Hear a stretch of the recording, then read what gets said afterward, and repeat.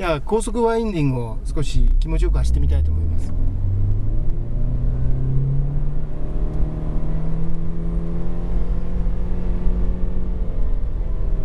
まあインプレッサらしいあの気持ちのいい走りですよね、えーそういったところは全然スポイルされてなくて、えーむしろ力強さはこちらの方があって、まあ、ターボとはまた違うあの本当に気持ちのいい甘い感じのお加速をしますここで減速かけていく。ここでターンしてで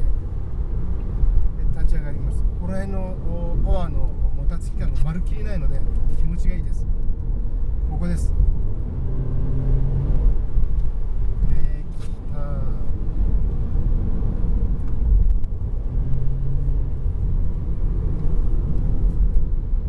パドルも使ってみますパドルで今一足落としてみました、えー乗り心地もとてもいいので、えーなんていうんですか、えーこう付き合感っていうのは全くないですよ。ただ、えー後ろに電池を積んでるのでその電池の存在感だけはあります。えー電池が乗ることによって重量配分が改善されたというふうに聞いてますけれども、まあ、それよりも後ろに電池が入って、えー上下をすることによるサスの動きをどういうふうにコントロールしているのかっていうところに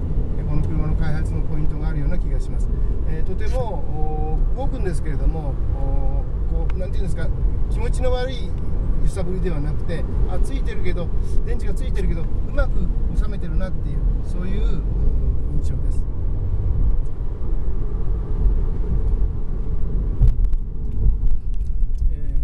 まあちょっとち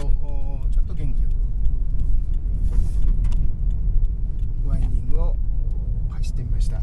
えーこの後はダートを試してみたいと思います。